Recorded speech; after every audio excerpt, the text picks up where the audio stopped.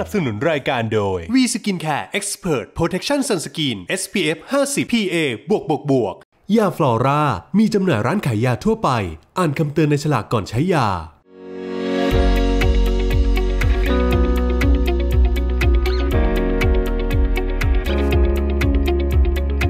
เป็นที่ทราบกันดีว่าในแถบภาคอีสานของประเทศไทยนั้น จะมีการนับถือองค์พญานาคกันอย่างแพร่หลายครับ โดยเฉพาะจังหวัดที่มีพื้นที่ติดริมแม่น้ำโขง ดังเช่นที่จังหวัดมุกดาหาร ผู้คนต่างมีความศรัทธาและเลื่อมใสในองค์พญานาคเป็นอย่างมาก หลาย ๆ สถานที่มีการก่อสร้างรูปปั้นแทนองค์พญานาคขึ้นมา เพื่อเป็นที่สักการะบูชาแก่ผู้คน และในวันนี้หนุ่มนันพัฒน์ก็จะพาทุกคนไปพบกับอีกหนึ่งสถาปัตยกรรมขององค์พญานาคที่ดูยิ่งใหญ่ตระการตา จนกลายเป็นสถานที่สำคัญ อีกหนึ่งแห่งของจังหวัดมุกดาหาร ที่วัดภูมโนรม แห่งนี้แหละครับ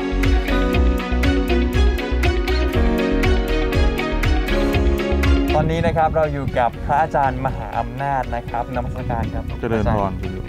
ตอนนี้เราอยู่ในจุดของพระใหญ่ใช่ไหมฮะเจริญพรถามหลวงพี่นิดนึงเรื่องประวัติความเป็นมาของวัดครับเอ่อวัดลอยพระพุทธบาทภูมิมโนรมนี้ตั้งอยู่ในตำบลนาศรีนวลอำเภอเมืองมุกดาหาร จังหวัดมุกดาหารอ่าเป็นวัดเมื่อปีพศ 2548 เดิมทีเป็นสำนักสงฆ์มาเป็นร้อยร้อยๆ ปี จนมาถึงในสมัยของหลวงพ่อยอดอดีตเจ้าคณะจังหวัดมุกดาหาร อดีตปุรพาจารย์วัดลอยพระพุทธบาทภูมิมโนรมได้ทำพาญาติโยมขึ้นมาบูรณะปฏิสังขรณ์พระราชมุกดาหารคณีหรือหลวงตายอด พระอาจารย์ครับขอสอบถามประวัติขององค์พระใหญ่หน่อยครับ อาองค์พระใหญ่นี้มีนามว่าพระพุทธมิ่งมงคลมุนีศรีมุกดาหารอ่ามีความสูงจากฐานทั้งหมด 89 เมตรอ่าหน้าตักกว้าง 39.99 เมตร เป็นพระพุทธรูปที่สร้างอ่าในปีพุทธศักราช 2552 พระอาจารย์ครับ ส่วนใหญ่คนที่มาเนี่ยจะมาสักการะอะไรที่วัดบ้างครับ แล้วก็ต้องเริ่มจากจุดไหนมีวิธีแบบว่าไล่ลำดับสักการะไหมเอ่อเมื่อคณะญาติโยมท่านพุทธศาสนิกชนมาที่วัดลอยพระพุทธบาทภูมิมณฑลเลยเริ่มต้นก็ต้องมาที่องค์หลวงพ่อใหญ่ซะก่อน ครับคือตรงที่ตรงนี้ชั้นครับ4แล้วก็ไฮไลท์ของชั้น 4 ตรงนี้ก็ต้องขึ้นไปแตะนิ้วองค์หลวงพ่อใหญ่ท่าน เพื่อความเป็นสิริมงคลครับอ่าเสริมดวงเสริมบารมีเพิ่มกุศลบุญญาราศีให้กับตัวเองมาที่นี่เป็นจุดแรกซะก่อนเบื้องต้น แล้วก็ไปที่จุดไหนต่อดีครับพระอาจารก็ย์จะมีจุดที่ 2 ที่กองอำนวยการการกุศลก็จะมีพระอังคารเป็นอ่ารอยพระพุทธบาทจำลองแล้วก็พระธาตุภูมิมันลม ซึ่งเป็นสิ่งศักดิ์สิทธิ์ของวัดที่อยู่คู่กับวัดมาเป็นร้อยๆปี แล้วก็ไปที่อ่าพ่อ ปู่องค์พญาศรีมุกดามหามุนีนิรปานนาคราชหรือปู่ศรีมุกดางั้นเดี๋ยวผมไปสักการะหลวงพ่อใหญ่ก่อนแล้วกันแล้วก็เจริญพรให้พระอาจารย์พาไปที่กองอำนวยการต่อนะคบเจริญพรเจริญพร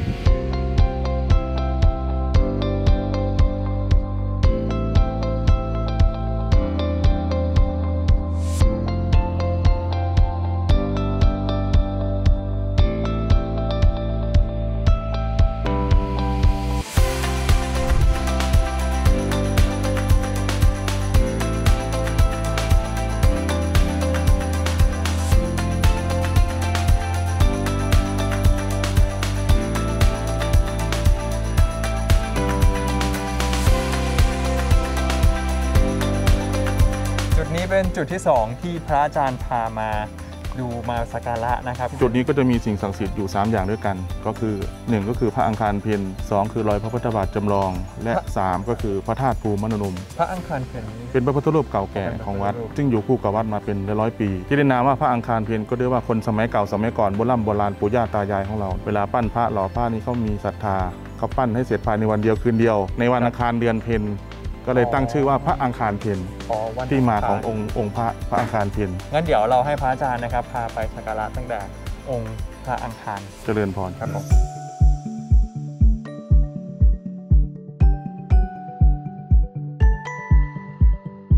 อ่าในตรงนี้ก็คือองค์พระอังคารเพ็ญซึ่งเป็นพระพุทธรูปเก่าแก่ของวัดที่อยู่คู่กับวัดมาเป็นร้อยๆปีอ่าส่วนตรงนี้ก็คืออ่า รอยพระพุทธบาทจำลองหินทราย เป็นรอยพระพุทธบาทจำลองที่อยู่คู่กับวัดมาเป็นร้อยๆปี เช่นเดียวกัน พระอาจารย์ครับถามนิดนึงฮะปกติรอยพระพุทธบาทที่เห็นตามวัดเนี่ยก็จะเป็นรอยพระพุทธบาทจำลองใช่ไหมคบเจริญพรมีแล้วมีรอยพระพุทธบาทที่เป็นของจริงด้วยไหมครับรอยพระพุทธบาทของจริงนี้ก็จะเกิดขึ้นก็ต่อเมื่อองค์สมเด็จพระสัมมาสัมพุทธเจ้า พระองค์ทรงอธิษฐานแล้วก็ประทับ แล้วก็ส่วนที่สองก็คือเป็นรอยพระพุทธบาทจำลองที่อ่าพุทธศาสนิกชน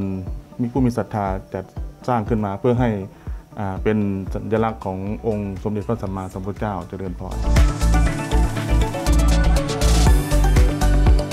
อันนี้คือองค์พระธาตุภูมินรมซึ่งเป็นพระธาตุทรงแปดเหลี่ยม เป็นพระธาตุทรงสามท่อน ท่อนบนหมายถึงสวรรคภูมิ ท่อนกลางหมายถึงมนุษยภูมิ ท่อนล่างหมายถึงนรกภูมิ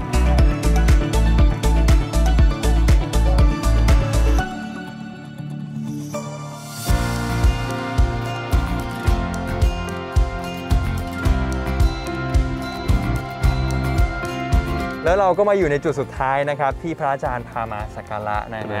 ฮะเบื้องต้นก่อนอื่นก็ต้องขอเล่าความเป็นมาเกี่ยวกับมูลเหตุของการสร้างองค์ปู่ท่าน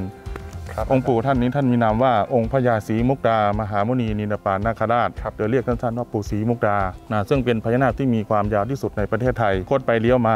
122 เมตรลำตัวเส้นผ่าศูนย์กลาง 1.5 เมตรลำคอท่านสูงยาว 20 เมตร และมูลเหตุของการสร้างองค์พญาศรีมุกดามหามุนีนินปานนาคราชนี่มีอยู่สี่หลักๆ ด้วยกันครับก็คือ 1 ตำนานตำนานก็คือ พระพุทธศาสนาเรามีความเกี่ยวเนื่องเกี่ยวพันกับพญานาคมาตั้งแต่สมัยครั้งพุทธกาลสองก็คือความเชื่อจังหวัดมุกดาหารเราเป็นจังหวัดที่ติดกับลุ่มแม่น้ำโขงซึ่งมีความเชื่อเรื่องพญานาคมาแต่ดั้งเดิมสามก็คือปณิธาน ปณิธานที่แน่วแน่ของเจ้าวาดองค์ปัจจุบันก็คือท่านพระอาจารย์พระมหามงคลมังคลคุโนซึ่งท่านได้มีความตั้งใจแน่วแน่ ปณิธานที่แน่วแน่ที่จะสร้าง องค์ปู่เพื่อถวายการอภิบาลองค์หลวงพ่อใหญ่พระพุทธมิ่งมงคลมุนีศรีมุกดาหาร และสีก็คือวิจิตรศิลป์หมายถึงศิลปะปูนปั้น ความวิจิตรพิสดารขององค์ปู่ท่าน พระอาจารย์ครับ ขอถามเป็นความรู้เพิ่มเติมเกี่ยวกับพญานาคนะฮะเจริญพรว่าเอ่อพญานาคเห็นบอกว่ามีหลายวงมีหลายเผ่าพันธุ์ครับอ่า ตระกูลของพญานาคนั้นจะมีทั้งหมดด้วยกันอยู่ 4 ตระกูล 4 เผ่าพันธุ์ด้วยกันครับตระกูลแรกก็คือตระกูลวิรูปักษ์เป็นตระกูลสีทอง เป็นตระกูลที่อยู่สูงกว่าตระกูลทั้งอื่นสองก็คือตระกูลของเอราปัดเป็นตระกูลของสีขาวสามตระกูลชัพพยบุตร เป็นตระกูลของหลากสีนินดำนิน เหมือนองค์นี้เจริญพร และ 4 คือตระกูลของตระกูลกันหามโคตเป็นตระกูลของอ่าพญานาคสีดอ๋อำโดยหลักๆคือตระกูลของเผ่าพันธุ์ของพญานาคก็จะมีอยู่ 4 ตระกูลด้วยกันอ๋อแสดงว่าที่เราเห็นพญานาค แต่ละที่ที่มีสีแตกต่างกันรูปร่างเจริญพรแตกต่างกันเนี่ยคือเจริญพรเป็นพญานาคจากหลักแตกต่างตระกูลกันตักเจริญพร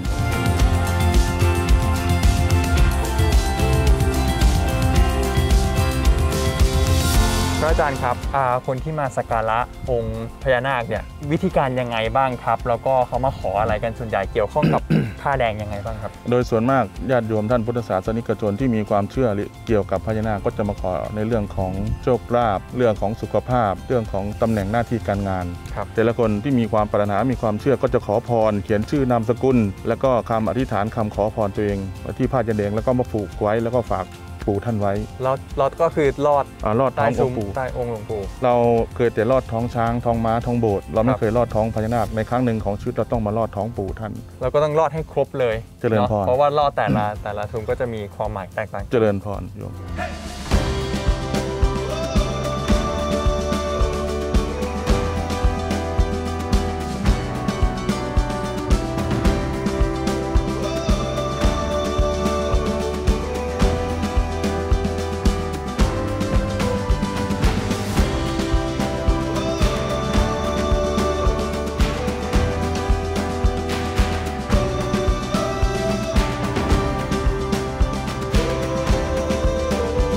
คครับพระอาจารย์วันนี้ต้องขอบคุณพระอาจารย์ที่สละเวลานะครับเจริญมาพรให้ข้อมูลกับพวกเราด้วยเจริญนะครับพรเดี๋ยวให้พระอาจารย์ฝากอะไรถึงท่านผู้ชมหน่อยครับ เจริญพรญาติโยมท่านพุทธศาสนิกชนนะพระพุทธศาสนาเราที่มีความเชื่อเกี่ยวกับพญานาคดังนั้นความเชื่อของเราก็ต้องมีปัญญาด้วย ปัญญากับความเชื่อก็ต้องมาคู่กัน ถ้าเรามีปัญญามากศรัทธาความเชื่อน้อย แล้วก็งมงาย มีปัญญามากศรัทธาน้อย มีปัญญาน้อยศรัทธามาก มันก็จะไม่คู่กัน ฉะนั้นศรัทธากับปัญญาก็ต้องมาคู่กัน เรามีศรัทธามากปัญญาแล้วก็ต้องมากด้วย ฉะนั้นเชื่ออย่างให้มีสติให้มีเหตุผลแต่แล้วที่สำคัญก็อย่าประมาทในการดำเนินชีวิต แล้วก็อำนวยอวยพรท่านญาติโยมที่ติดตามรับชมรายการ ให้มีความสุขความเจริญ อย่าเจ็บอย่าจนอย่าไข้คิดสิ่งหนึ่งประการใดที่เป็นไปด้วยชอบประกอบด้วยธรรมที่เป็นบุญเป็นกุศล จงพันสำเร็จจงพันสำเร็จทุก ๆ ประการเถิดสาธุนะโยมสาธุขอบคุณครับพระอาจารย์เจริญพรต้องบอกเลยนะครับว่าใครที่มาวัดนี้นะฮะนอกจากจะได้ชมวิวสวยๆนะครับ ชมได้มาสักการะทุกอย่างที่เราพาไปเนี่ยเจริญพรก็ยังได้ประสบการณ์ที่แปลกใหม่ แล้วก็เป็นประสบการณ์ดีๆ กลับไปแน่นอนนะครับผมสำหรับวันนี้ต้องกราบนมัสการขอขอบคุณพระอาจารย์เจริมากญเลยพรนะคคุรับ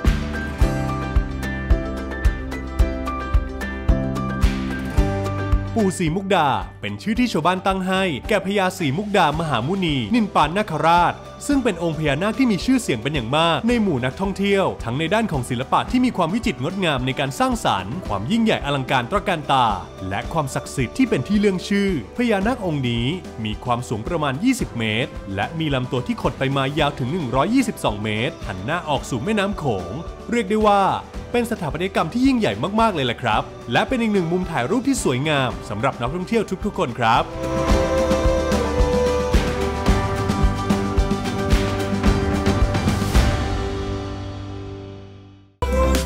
ค่ำคืนแรกของทริปอีสานครั้งนี้ฮะผมพาทุกคนมาหาของอร่อยกินที่นี่เลยครับ ตลาดราตรีฮะแม่ว่าของแม่อร่อยทุกอย่างเลยนะ อร่อยทุกอย่างเลยใช่อร่อยทุกอย่างมันมีกี่อย่างนี้มันอร่อยหมดเลยอ ร่อยอันนี้เนี่ยไม่ไม่ผสมแป้งเลย ไม่ค่ะ ไม่มีค่ะ เนื้อล้วนเนื้อล้วนๆเลยนะครับๆ